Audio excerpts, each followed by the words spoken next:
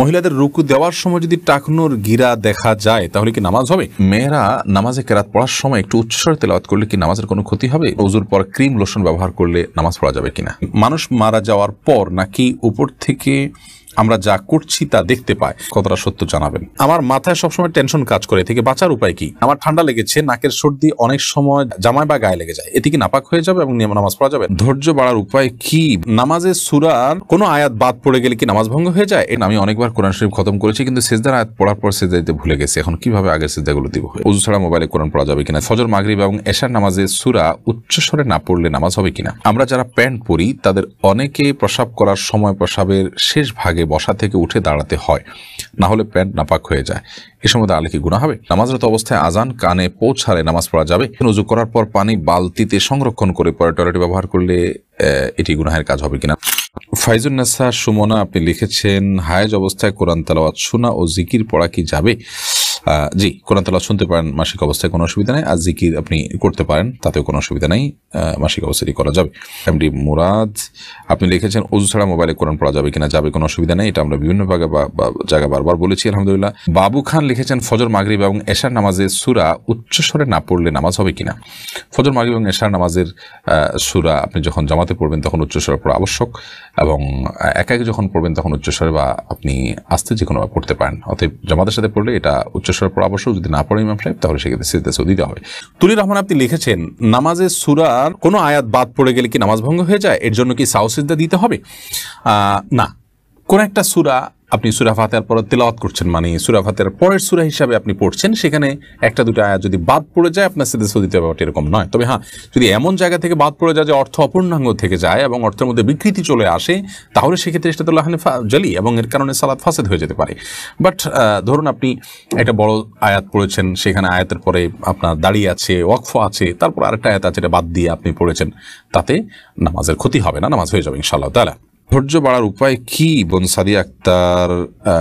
সুস্মিতা, আপনি লিখেছেন, ধৈর্য বাড়ার একটা উপায় হলো ধৈর্যশীল মানুষের সাথে থাকা। যারা খুব বেশি ধৈর্য ধারণ করতে পারে, মানুষগুলোর সাথে উঠা বসা করেন, তাদের সাথে চলাফেরা করেন, তাদের সাথে সময় কাটান, তাদের সান্নিধ্যে থাকেন, দেখবেন ইনশাআল্লাহ আপনার মধ্যে সবর এবং ধৈর্য আসবে।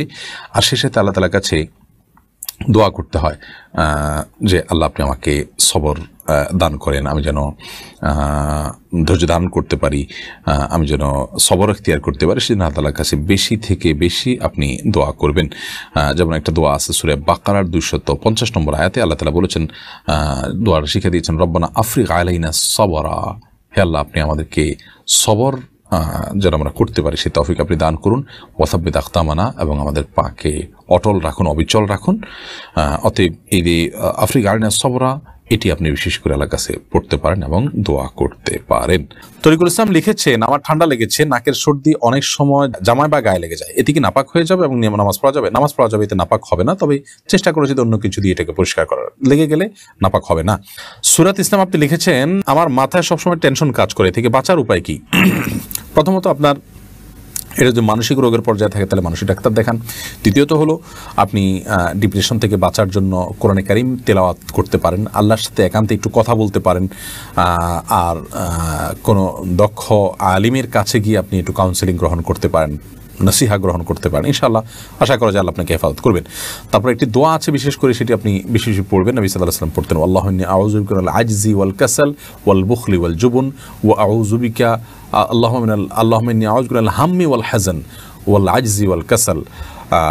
এর অর্থ হলো যে আল্লাহ আপনার কাছে আমি পেরেশানি এবং টেনশন থেকে মুক্তি চাই। তাহলে আশা করা যায় আপনি দুশ্চিন্তা মুক্ত হতে পারেন। এই দোয়া বিশেষ করে পড়বেন। আর জানা শিরিন ইসলাম, আপনি লিখেছেন, নামাজরত অবস্থায় আজান কানে পৌঁছালে নামাজ পড়া যাবে, নাকি সে অবস্থায় থেমে গিয়ে আজান শেষ হওয়ার পূরণে পড়তে হবে? কোনো অসুবিধা নেই আজান চলাকালীন নামাজ অব্যাহত রাখা যাবে।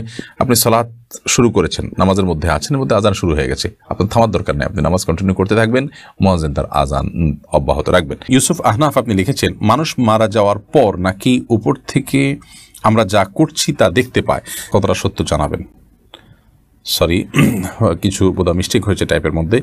তো যাই হোক, আমরা যেটুকু বুঝতে পেরেছি, মানুষ মারা যাওয়ার পর তিনি তার আত্মীয় স্বজন যা যা করেন সব দেখতে পান, জানেন। ব্যাপারটা এরকম নয়। আল্লাহ তালা তাকে যতটুকু জানান, তিনি ততটুকু জানেন। করেন আল্লাহ তালা বলেছেন অমান তবে মুসলিমানফুল কবর। যিনি কবর, যারা খবরবাসী আছেন, আপনি চাইলে তাদেরকে আপনি যা খুশি যা শোনাতে পারবেন না। বরং আল্লাহ তালা যাকে ইচ্ছা তাকে শোনান, যাকে ইচ্ছা তাকে জানান, যতটুকু ইচ্ছা ততটুকু জানান। বিধায় তারা সব কিছু আমাদের অবজার্ভ করতে পারে, ব্যাপারটি এরকম নয়। যে এস সোহেল রানা, আপনি জানতে চেয়েছেন, উজু করার পর পানি বালতিতে সংরক্ষণ করে পরে টয়লেট ব্যবহার করলে এটি গুনাহের কাজ হবে কিনা? না, এর ফলে কোনো গুণা হবে না, কারণ টয়লেটে সরি অজুর যে পানিটা ব্যবহৃত পানিটা এটা নাপাক হয় মানে এটা নাপাক হয় না, আবার এটা অন্যকে পবিত্রও করতে পারে না। বিধায় এটা দিয়ে আমরা টয়লেটে ময়লা পরিষ্কার করার কাজ করতে পারি টয়লেটের ফ্লোর পরিষ্কার করার কাজ করতে পারি, বা অন্য কোনো কাজ করতে পারি, এতে কোনো অসুবিধা নেই।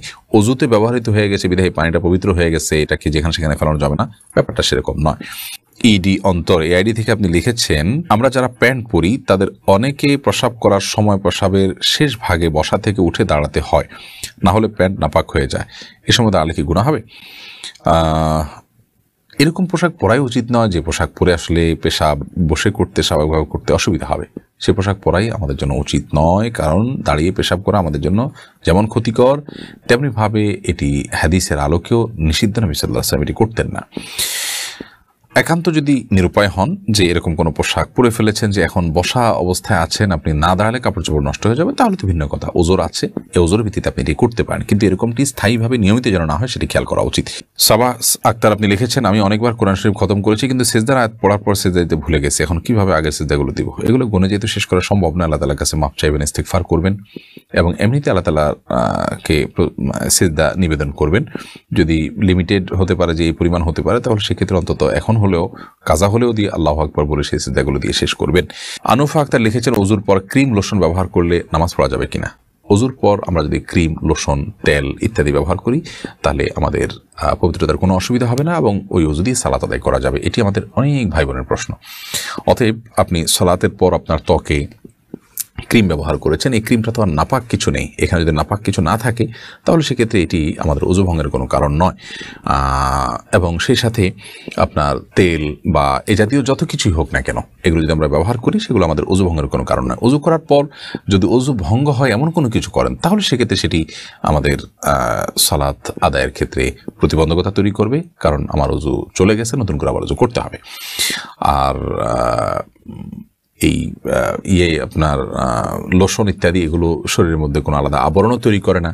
যে পরবর্তীতে উজুতে সমস্যা হবে, সেটাও আরেক মাস আলা যে আদৌ পরবর্তীতে আমার উজু করলে সেখানে কোনো সমস্যা হবে কিনা। কিন্তু মৌলিকভাবে ক্রিম লোশন ব্যবহার করলে আমাদের উজুতে কোনো অসুবিধা হবে না ইনশাল্লাহ তার আনোয়ারা বেগম, আপনি লিখেছেন, মেয়েরা নামাজে কেরাত পড়ার সময় একটু উচ্চস্বরে তেলাওয়াত করলে কি নামাজের কোনো ক্ষতি হবে? যদি বাসায় কেউ না থাকে, রাতের নামাজ যদি হয়, বাসায় কেউ না থাকে, আশেপাশে মৃদু আওয়াজ হলো, নিজে শুনলেন, তাতে কোনো অসুবিধা হবে না, ইনশাআল্লাহ তারা এরপরে রাগিবুর রহমান, সাবিত, আপনি লিখেছেন, মহিলাদের রুকু দেওয়ার সময় যদি টাকনোর গিরা দেখা যায়, তাহলে কি নামাজ হবে? পুরো রুকু জুড়ে যদি এরকম হয় তাহলে সেটা সালাতের জন্য ক্ষতিকারক হবে। আর যদি হঠাৎ সামান্য একটু অংশ হয়তো এক ঝলক একটু সরে গিয়েছিল, আবার তিনি ঠিক করে ফেলেছেন, তাতে অসুবিধা নেই। কারণ সালাতের মধ্যে টাকনো সহকারেই তাকে ঢেকে রাখতে হবে।